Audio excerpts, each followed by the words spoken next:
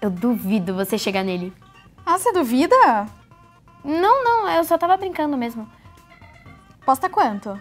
Ah, não, amiga, eu só tava brincando. Você duvida? Ah. Você vai ver, então.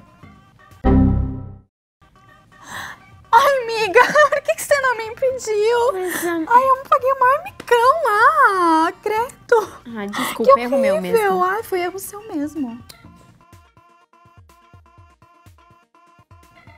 Oi. Não, mas você viu que ela não me convidou pra festa de aniversário?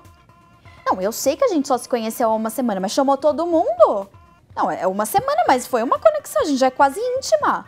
Não, não tem desculpa. Não, eu fiquei, eu fiquei pé da vida. Eu vou postar uma indireta agora.